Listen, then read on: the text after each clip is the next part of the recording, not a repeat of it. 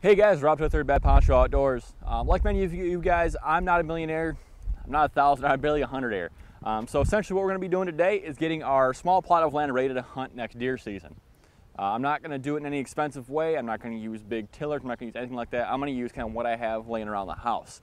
So I've got a bag of throw and grow that ran me about 20 bucks. A garden rake that ran me again about 20 bucks for a good one. Um, and a beat up mower. Works just well with a uh, weed eater or scissors if you have to. Um, but what I'm gonna be doing is this brushy crap, we'll call it, behind me. I'm gonna get that stuff ready for deer season. Uh, I'm gonna mow it down, I'm gonna trim it, I'm going to clean it out, get it ready for this throw and grow. Uh, so essentially what we're doing is picking a high traffic area for deer and we're gonna make them try and stay in these one uh, localized spot so that we can get a better shot out of either that tree or that tree depending on what needs to happen. Let's get started guys.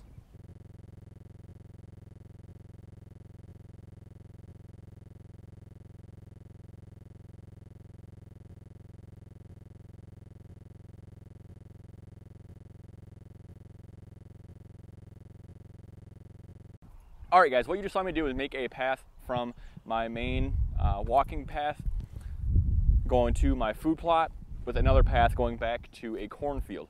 Um, so essentially we're gonna have around us is corn, alfalfa in the back, and then pretty much a grass pasture um, right next door. So I need to do something different. Uh, so I picked up my throw and grow is the radish blend. Um, it is the extreme blend. So we're gonna clear this now with a garden rake, get it ready for planting. Let's get started guys. So the big thing I want to do here is I want to work from the center out. Um, so I work from the uh, the outside in. I'm just going to move grass kind of where I don't need it. So essentially, all I'm to be doing, hitting it with the rake, moving from the inside out. As I'm doing this, it's going to tilt the land a little bit, getting it nice and ready for that throw and grow to plant.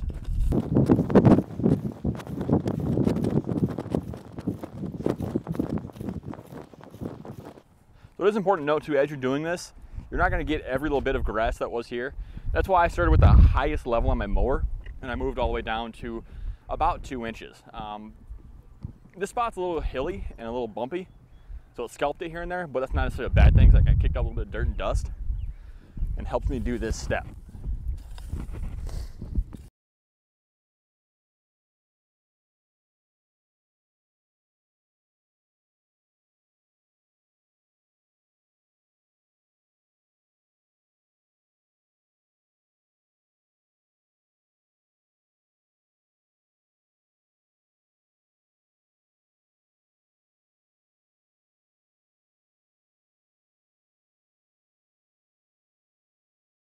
All right, guys, the plot is raked. Let's throw some throw and on it. Let it sit for a little bit, let the sun and uh, rain fall down. We'll check back in a week.